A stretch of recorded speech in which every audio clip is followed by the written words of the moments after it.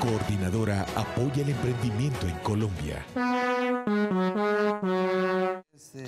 Juan Guillermo Loaiza, ¿cómo me le va? Muy bien, muy bien. ¿Qué ha hecho usted, hombre? Excelente. ¿Quién es Juan Guillermo? Juan Guillermo, Juan Guillermo es, es una persona que es una persona soñadora. Una persona soñadora, una persona que, que cada vez más se esmera por, por progresar, Sí. por hacer las cosas bien y, y brindar un buen servicio. Juan, ¿usted qué estudió? Mi hermano, eh, yo soy tecno- técnico en, en mercadeo. Sí. ¿Y cuándo se volvió a la tecnología? Mi hermano, pues esto es una historia muy larga, que se la voy a resumir. Ah. Eh, esto viene desde inicios con un cuñado mío aproximadamente hace 15 años Sí. que emprendió en todo este mundo de, de la tecnología celular, eh, trayendo estuches, cuando eso apenas estaba empezando a salir el 1100, el B300, todos esos equipos pues por los que pasamos nosotros. Ya usted hablando de cosas viejas, Sí. antiguas, de museo. Entonces, en ese entonces estaba yo en el colegio y me interesé mucho pues por el tema y siempre me fui muy pegado al lado de él, aprendiendo todos los días más de, de lo relacionado con, con celulares. Y aquí vamos. Y aquí vamos. ¿Cuál es ese emprendimiento? ¿Usted qué está haciendo? ¿En qué está emprendiendo? Hermano, pues ahora eh, estamos dándole muy fuerte a todo lo que tiene que ver con servicio técnico.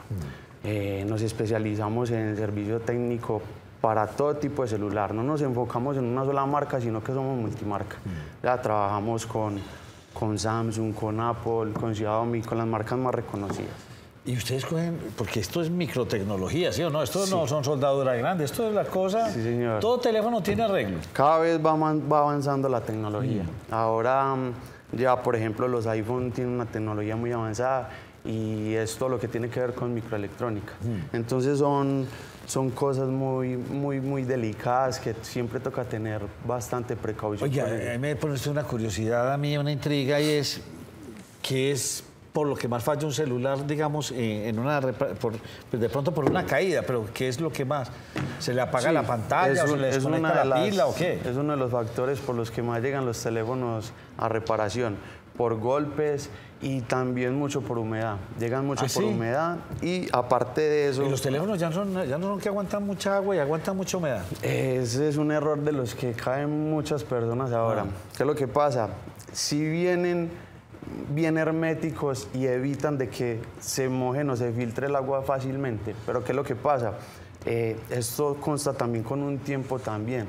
Si vamos a dejar el teléfono sumergido, pueden decir que cinco minutos probablemente se le puede filtrar el agua. ¿Y eso tiene arreglo la humedad? Sí, tiene arreglo. claro pero hay que desarmarlo. Hay que analizar primero el teléfono, hacer un diagnóstico, mirar qué tan afectado está y en caso tal de que ya se vea muy perjudicado el equipo por el, por el problema de humedad que tuvo, entonces se pasa a hacer un swap.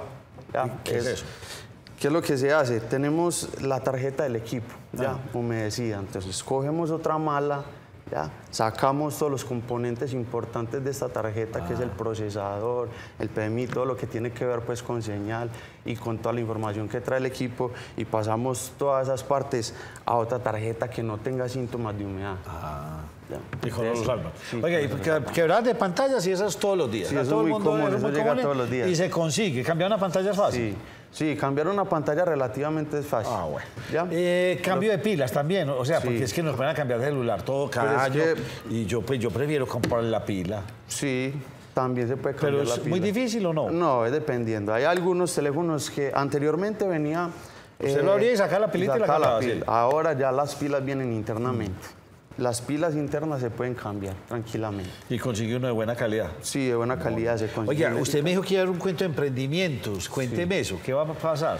Eh, te cuento, eh, ahorita el 14 de agosto viene uno de los proyectos más innovadores y más ambiciosos pues, que va a haber en, en Colombia. Ya, esto alcanza a reunir la gran mayoría de, de técnicos, emprendedores que quieran incursionar en este mundo de la tecnología celular.